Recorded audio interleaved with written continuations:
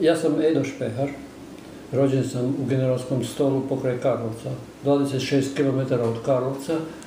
E, školu sam polazio u Varaždinu, Franjevačku klasičnu gimnaziju u Varaždinu i drugu klasičnu gimnaziju u Zagrebu. Ja sam bio u, u Hrvatskoj, u Hrvatskim oruženim snagama kao kadet, kao častnički pripravnik. E, bili smo pozvani pod, u jesen 1944. godine da završimo istovremeno osmi razred gimnazije i istovremeno da budemo častnički pripravnici. Bili smo smješteni u filozofskom fakultetu drugi i treći kat.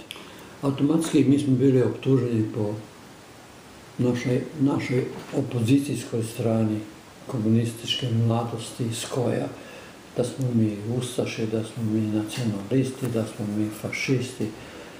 I, I kad smo došli na, nas je, po, počeli smo doći na sud, automatski smo u, na sudu bili rečeni da smo mi neprijatelji komunizma i mi smo napravili to i to i to. I to bili smo, bili smo osuđeni, stoji u knjizi negdje.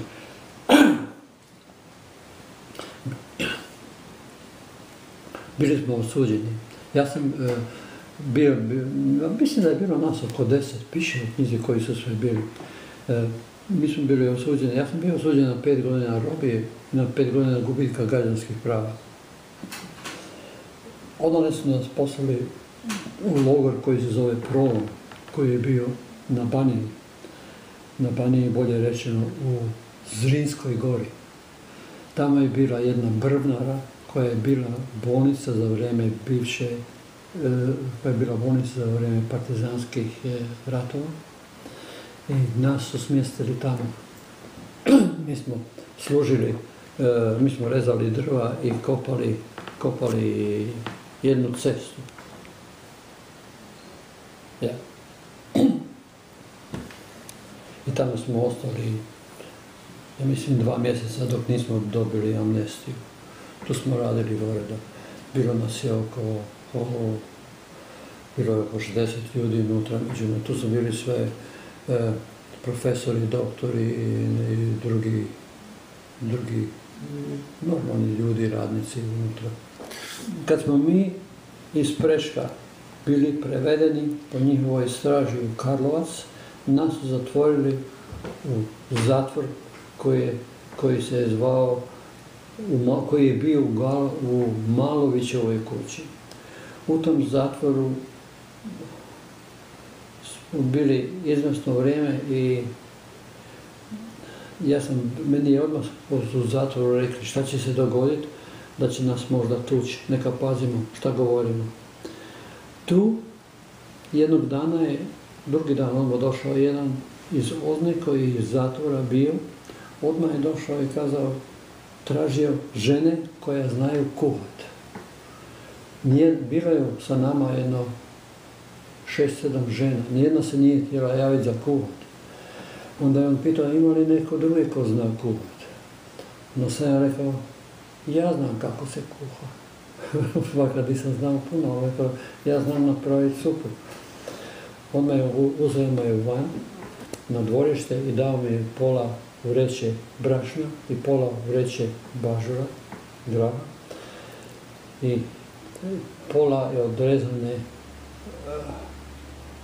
limene bače od gasolina da operemo i u tome smo kuhali. To je bilo jedno, tri, četiri dana sam to kuhao i kroz, to je bilo u dvorištu, jel? I sada, svi koji su prolazili iz te, ti interrogatori kad su prolazili dole u zatvor, oni su morali proći kroz dvorište i ja sam ih vidio. I tu sam vidio ovoga čovjeka koji je htio mene ubiti. Istovremeno mi je jedan dečko koji je s menom radio isto, kuhao, kaže, ovo ti je Boljkovac. On ga je prepoznao. Ovo ti je Boljkovac, interogator. Potom sam ja prepoznao lice Boljkovca on je znao doći u taj zatvor i ići natrag u svoj zatvor gdje je on bio. On je bio u oba dva zatvora. Tako sam ja prepoznao njega. I onda kada je meni došlo vrijeme da su me osudili da ću ići u Detro, kad sam bio svezan u glavnoj ozni, u glavnom zatvoru, tamo je bilo oko 60 ljudi već. Oni su prisilili ljude da bili su vezani sa žicom. Bio sam ja među njima svezan žicom. Kada je došlo vrijeme da se oslobodi, da su tri bila oslobođena, kao što sam prije rekao, ja sam bio četvrti, on je došao do dvojica, kad su oslobodili moji trojicu kolege, ja sam ostao sam, jer sam bio daleko od njih, uza zid svezan. I onda sam čekao kad bi neko došao k meni, najedamo sam vidio da dolazi dva vojnika, dolazi partizana. Došli su iza mene, ja sam se okrenio i kazao, i ja pripadam, pripadam ovim školarcima koje ste vi pustili vam. On me je pogledao i rekao, o, koje godište si? Ja rekao, 26. Pusti da, pusti, odveži ga odmah i meti ga nadalje u se. Kad sam bolje pogledao, to je bio taj isti čovjek koji je bio u dvorištu Bojkovaca.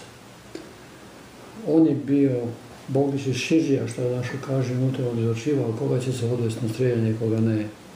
Tu sam ga prepoznao po tome.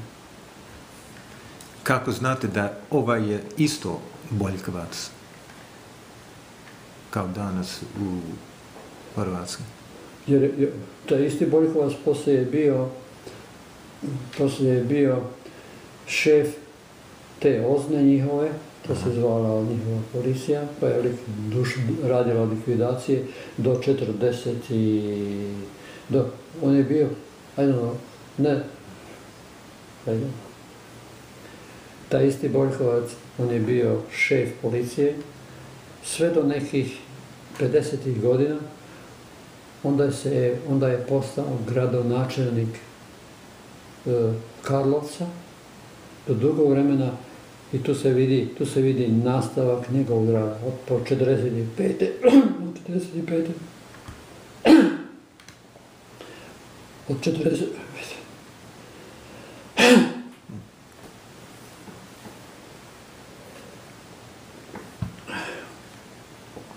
Ja, ok. Od 45. godine napred on je uvijek bio u službi uh, kao državni organ komunističke Jugoslavije u to doba. Ponde po tome znam da je bio on, jer nikada taj, taj nastav, taj kontinu, kontinuitet nije prestao. On je bio zapovjednik Ozni, onda je postao, kako se zove, gradonačelnik, onda je postao nešto, uh, i radio u vladi, to je taj, i poslije bio imenovan po Tuđmanu, po Tuđmanu da bude prvi, prvi šef policije. Tuđman nije znao, naravno, s kim ima posla. Mm -hmm. Potom znam da je bio